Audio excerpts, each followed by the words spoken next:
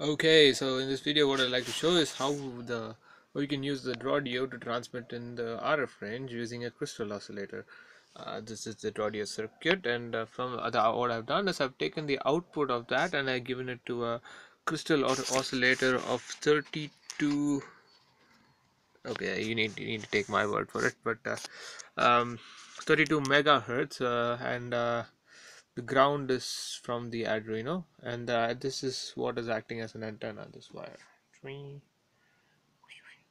So that is what is acting as an antenna and then uh, what I've done is also um, hang on a second what I've also done is I've taken another output from the radio and I've given it to the mic of the computer so that I could see like visually see what frequency I'm tuning into and whether that is corresponding to what output I hear on the phone. So on my phone over here okay.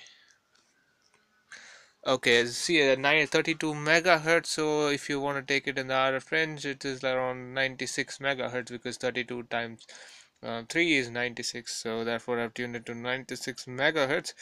And um, and uh, I've connected a TRRS pin and a TRRS pin which will act as an antenna to pick up the signal. And uh, that's about it. Let's go. Hang on a second. Let's put it on speaker so that you'll be able to hear. And uh, max out the volume okay you're already able to hear something because I've already tuned it. But uh, okay let's see how the variation is. This is around uh, 6500 sort of hertz. Let's see. I mean there's gonna be there's a lot of loose connections so pardon me for that uh,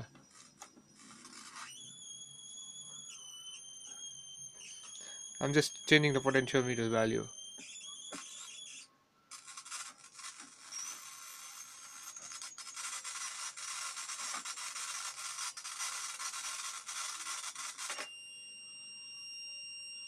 so that's around 2500 hertz. Uh, let's change that again. It's hard to do with one hand holding the computer holding the phone and then other one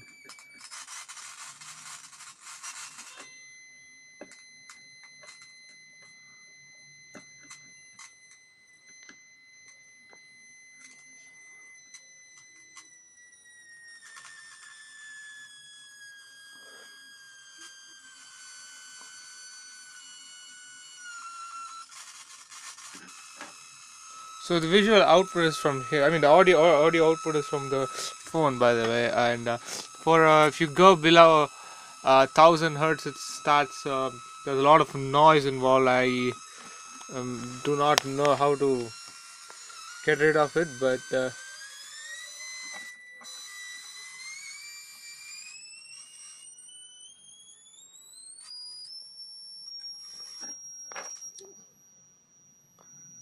so yeah. I believe it's because of this crystal oscillator that I'm able to get it in 36 megahertz because I tried if I just let if I just take a connection from the Drawdio that I give the crystal out it's just spraying noise out here. So it's because of this crystal oscillator that's doing all the magic. So it's like wirelessly I'm able to transmit from here setup to this setup wirelessly. So I thought that was pretty cool, right? So, bye.